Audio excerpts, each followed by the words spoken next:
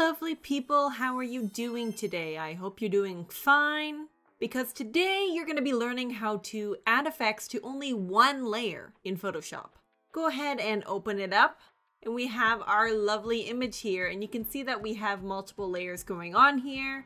We've got a background, a pattern, a shadow, and then the lady herself. So let's say we want to apply an effect.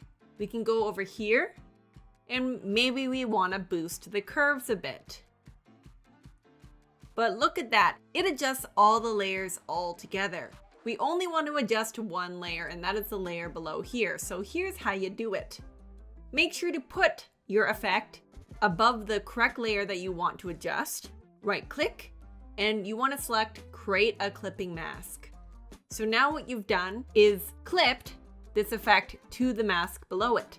So now when we apply an effect, it'll only adjust the layer below it. And you can do this with multiple layers. So let's say we want to add saturation as well. We can do that, right click, create a clipping mask, and you can see that there's two arrows now. And then that's pretty much it. This is how to apply effects to only one layer in Photoshop. I hope you found this tutorial helpful. If you did, please give this video a like and subscribe to the Want Pizzazz channel. It really means a lot. I hope you have a fantastic day and I'll see you in the next one. Bye!